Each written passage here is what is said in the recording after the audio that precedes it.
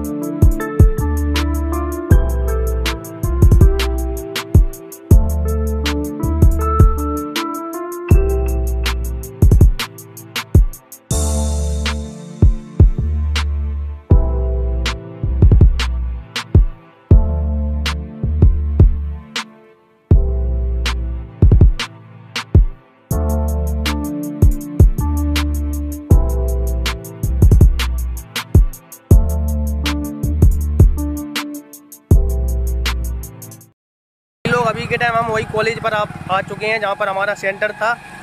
तो लगभग दो घंटे से चल रहे हैं। मतलब गाड़ी इधर चल रही है। अभी तो थोड़ा रुक के अभी पैदल चलने लगे हैं। तो बिल्कुल एकदम करंट लोकेशन पर आ चुके हैं, क्योंकि हमने मैप पर डाला था। तो अब दबी डबल शिफ्ट में पेपर है तो आपको यहीं रुकना पड़ेगा, लगभग रुक, लगना पड़ेगा शाम तक।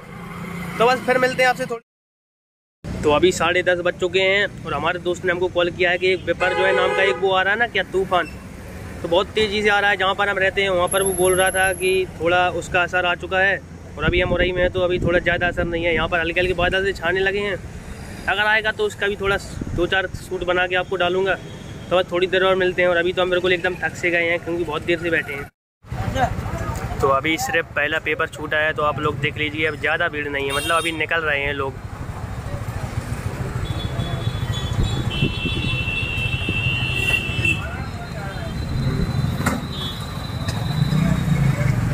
और धूप बहुत तेज़ है, गर्मी बहुत ज़्यादा लग रही है।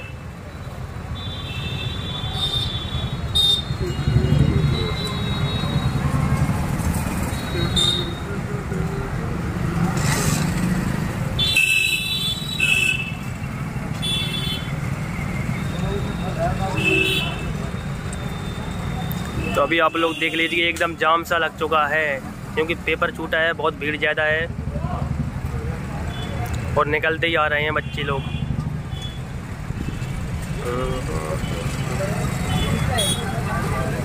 हेलो गाइस तो अभी हम लोग वहाँ से पेपर दे के निकल आए हैं और अभी थोड़ी देर बाद और जाना पड़ेगा क्योंकि डबल शिफ्ट में पेपर है। और अभी हमें आके हमने खाना आना खा लिया है। एक पेड़ की छाँव में यहाँ पर लक्ष्मी नारायण का मंदिर है, पास में ही। वहीं पर हमने आके खाना खाया। और अब जाएँगे दो बजे के बाद वहीं पर। फिर दोबारा आए, फिर पाँच बजे तक घर पर जाएँगे, फिर अपना वीडियो एडिट करेंगे टाइम लगेगा। तो हम लोग वहाँ से खाना भी खा के आ चुके हैं और बहुत टाइम हो चुका है, लगभग साढ़े चार बज चुके हैं तो टाइम लगेगा अभी, आधा घंटा और लगेगा। तो बस आज का ब्लॉग अभी यहीं पर ख़त्म कर देते हैं और मिलते हैं अगले ब्लॉग में, तब तक लिए जय हिंद, जय भारत।